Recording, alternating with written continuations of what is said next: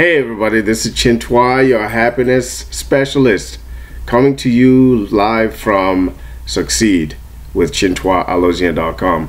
Today we're going to learn how to make marriage better than divorce in your business building process.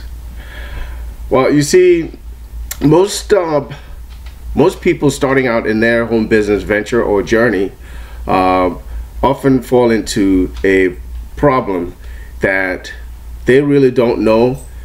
Uh, besides being excited about their business, about getting started, about starting something new, this is a problem that most people starting out don't know. And unfortunately, a lot of the times, no one lets them in on the the secret. No one tells them about it. So most people end up falling into the, the same trap that a lot of people do until uh, either it becomes too late where one they they give up they quit or they you know uh, put their business in the back burner instead of moving forward with the same uh, commitment uh, and enthusiasm they started the business with in the first place so what is this problem that most people do? The number one mistake that most people starting out in their home business is they focus on sales.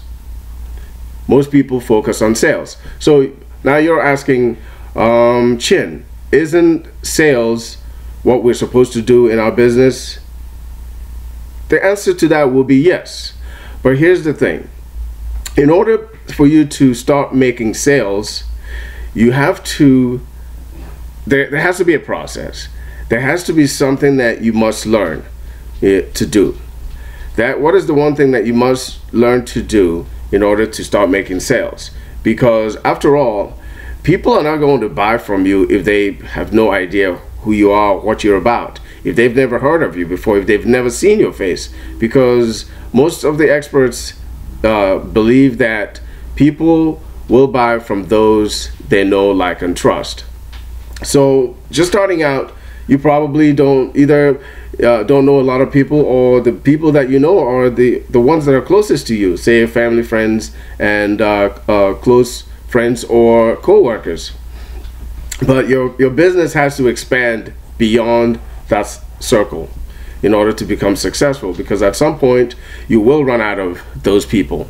So there is a process that you have to learn in order to you know start making sales because you cannot uh, focus on sales because it's not going to happen.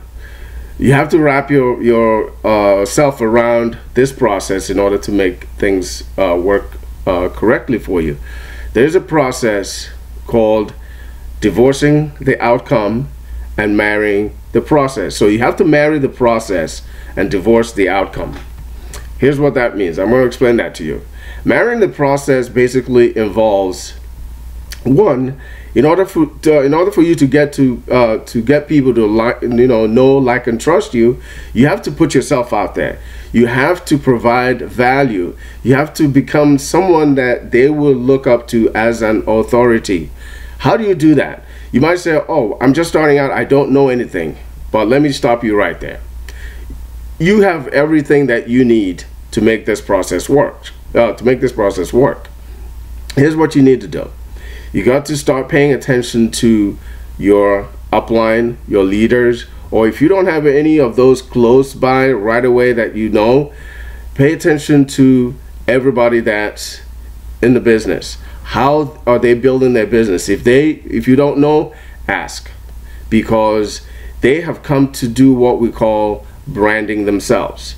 This is how you you know get people to know you when you get people to know you they get to like and trust you and when they do that all these things will come together where they will come to buy from you because now they know who you are all right they you will become a familiar face and you will become a familiar name to them.